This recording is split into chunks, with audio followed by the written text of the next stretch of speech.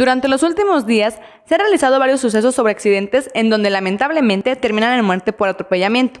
Por ello, el regidor y líder de la alianza, Raúl Medinal, expresó que el personal de los autobuses se encuentra capacitado. Sin embargo, en ocasiones son imprudencias de la ciudadanía a querer abordar la unidad cuando va en movimiento, y es aquí cuando suceden las desgracias. Pues yo creo que en lo que respecta al trabajo que realizan los compañeros, bueno, se, se les capacita desde luego pero a veces también la, pues, la imprudencia de la gente, ¿verdad? Que se, se quiere, abordar la unidad cuando ven movimiento y suceden esas desgracias. O sea, aquí es un todo, ¿eh?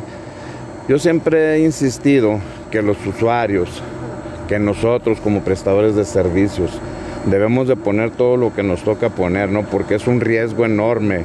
Usted lo acaba de decir, o sea, acaba de suceder un hecho lamentable que que desde luego nosotros sabemos que hubo ahí imprudencias de ambas partes. ¿Por qué?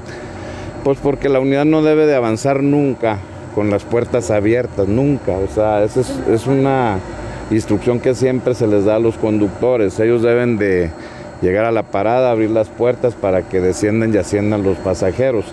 A veces podemos ver que la imprudencia de ellos es que llevan las puertas abiertas y luego los usuarios pues se cuelgan del camión porque ven las puertas abiertas, o sea, nosotros no evadimos la responsabilidad que nos toca, ¿eh? por eso le digo yo que eh, nosotros es la instrucción que siempre les hemos dado.